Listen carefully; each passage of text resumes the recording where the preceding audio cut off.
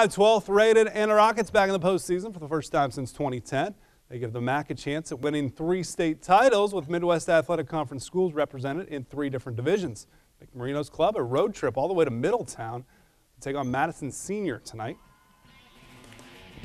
Trying to blast off, this was a defensive struggle. Opening kickoff.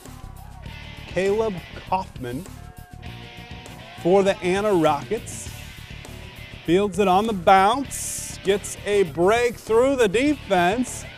And with good field position all the way up to the 43. The senior Travis Meyer playing with that torn ACL. Against the Riley Hills camp. Nine tough yards outside the 40. Hills camp again.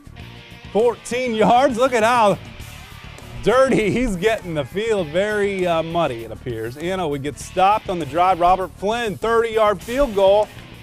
That one is in with Flynn. 3 0. But Madison gets the final score and they win 14 to 10, ending Anna's